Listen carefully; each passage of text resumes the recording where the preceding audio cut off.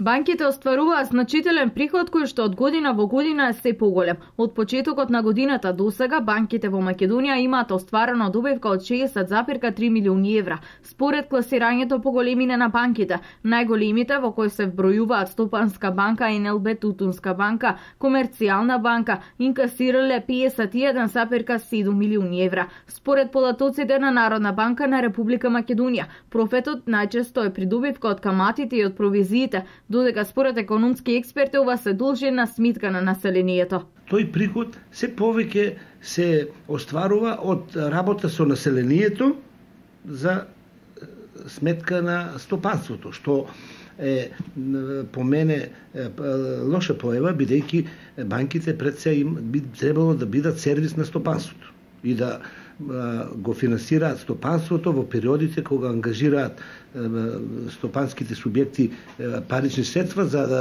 нешто произведат, да направат некои трансакции и потоа по извршувањето на таквите трансакции и остварувањето на приходи да ги враќаат кредитите.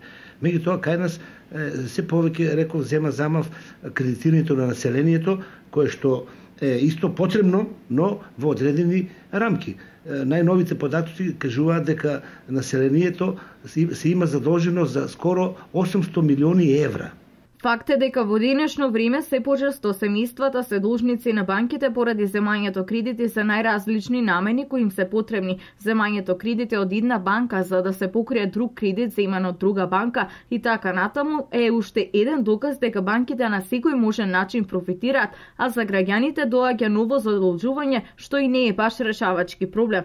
Што се однесува до развојот на стопанството во Македонија, не е соочекуваната динамика. Почетокот на годината проекци проекциите, макропроекциите на владата па и на Народната банка беа некаде околу 4%, па тоа се сведе на 3,2, па еве сега гувернерот е во а, во, во, во исчекување дека и тој пораст тешко ќе се оствари, бидејќи ние како мала држава сме подложни на а, честите промени во а, големите земји. Секоја промена во една поголема а, земја кај што ние сме значаен, да речеме, тие ни се значаен деловен партнер, како една Германија и така натаму, тие или Србија, што голема, па и Грција, тие нивните турбулентни промени во стопанската структура директно се одразуваат на нашето стопанство. Според Ивановски нема место за замерка што банките профитираат од населението. Поголемиот дел од приходите на банките е од каматите за извадените кредити на физичките и правни лица